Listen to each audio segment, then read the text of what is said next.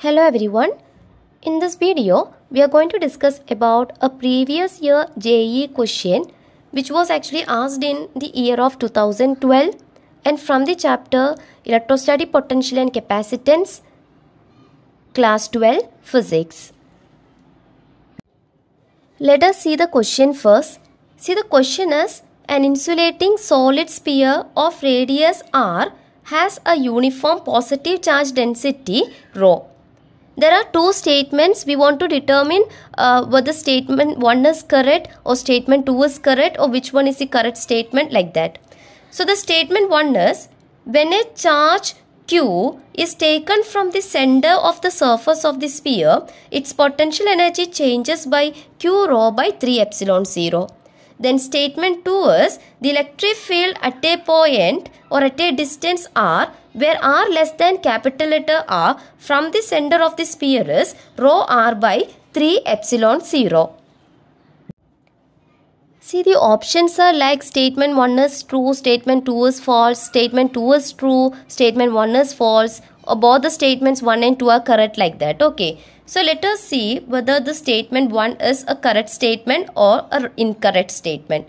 See the statement 1 says that when a charge q is taken from the center of the surface of a sphere, its potential energy changes by q rho by 3 epsilon 0.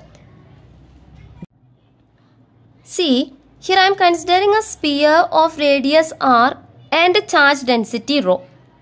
Suppose this point which is the center of the sphere I am taking it as O and I am taking a point here uh, which is on the surface of the sphere that point is P. Okay, so suppose a charge small letter q is taken from the center O of the sphere to the surface point P of the sphere then what will be the change in its potential energy? Whether it is q rho by 3 epsilon 0 or it is an incorrect statement that is what we are going to find out.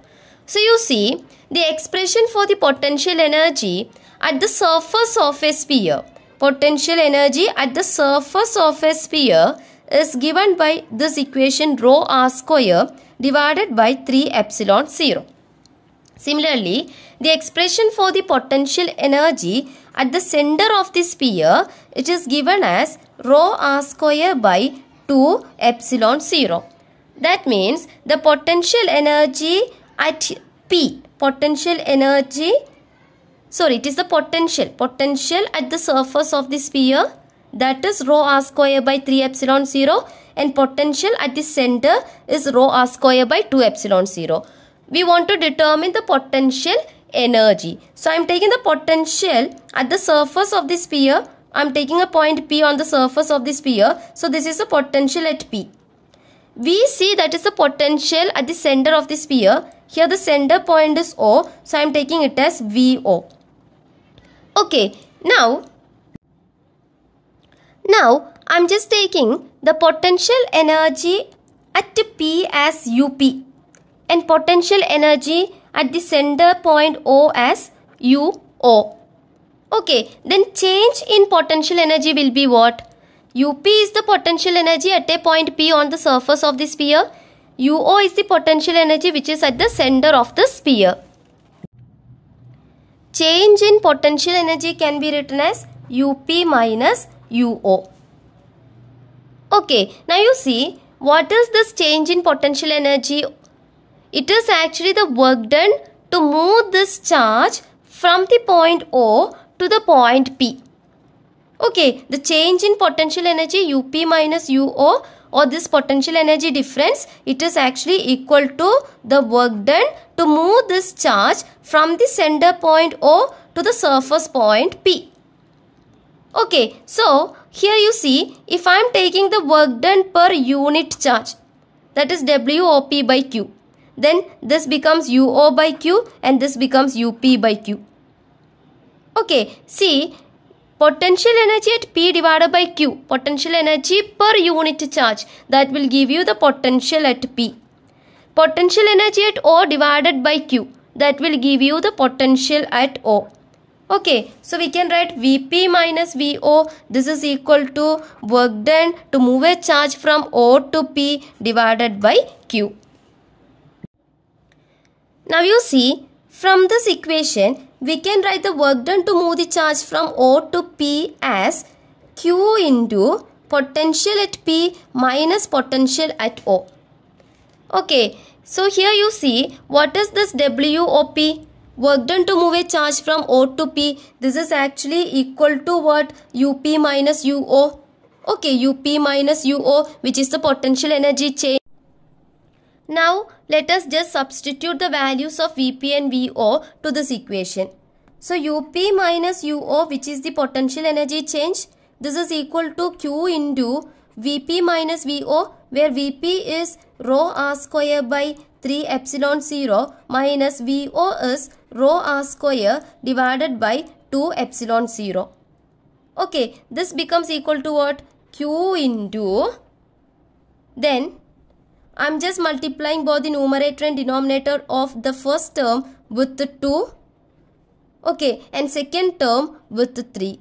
So that the first term becomes 2 rhos r square divided by 6 epsilon 0 minus 3 rho r square divided by 6 epsilon 0. Okay, now you see we have the common denominator. So you can just add the numerator so this becomes q into here 2 rho r square minus 3 rho r square. Okay, that will be minus rho r square divided by the common denominator 6 epsilon 0.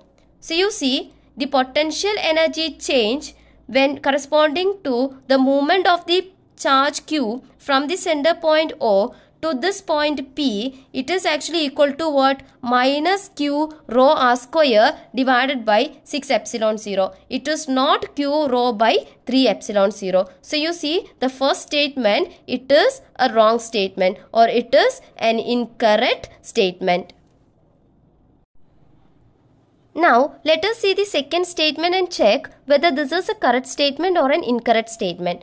See statement 2 is, the electric field at a distance r small letter r where the small letter r is less than capital letter r where capital letter r is the radius of the sphere from the center of the sphere is rho r by 3 epsilon 0.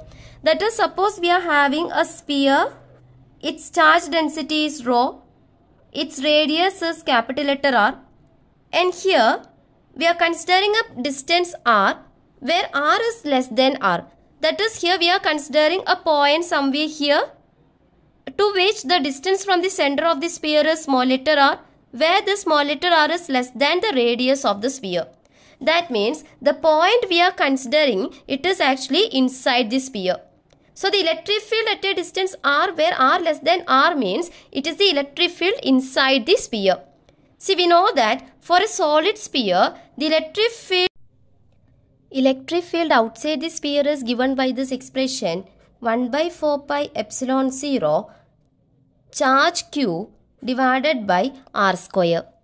And we have the expression for the electric field inside a solid sphere as 1 by 4 pi epsilon 0 q by r cube into r where small letter r is the distance, capital letter r it is the radius of the sphere. So this statement is electric field at a distance r which is inside the sphere that is electric field inside the sphere of a sphere it is rho r by 3 epsilon 0. So let us check whether this is a correct statement or not. So you see the expression for the electric field inside the sphere is 1 by 4 pi epsilon 0 q by r cube into r. See we know that the volume charge density rho it is actually equal to charge per unit volume. Okay, that is charge per volume of a sphere is 4 by 3 pi r cube. That is you can write charge q as rho into 4 by 3 pi r cube. So let us just substitute this value here. When we substitute this value here, this expression for the electric field inside the sphere, it actually becomes 1 by 4 pi epsilon 0. Q is replaced with rho 4 by 3 pi r cube into r is there in the numerator 1 r cube is there in the denominator. So you see 4 4 cancelled pi pi cancelled r cube r cube. So rest we have rho into r divided by 3 epsilon 0 as it is given in the statement 2. So statement 2 is a correct statement. So in this question, statement 1 is an incorrect statement and statement 2 is a correct statement. I hope it is clear to you. Thank you.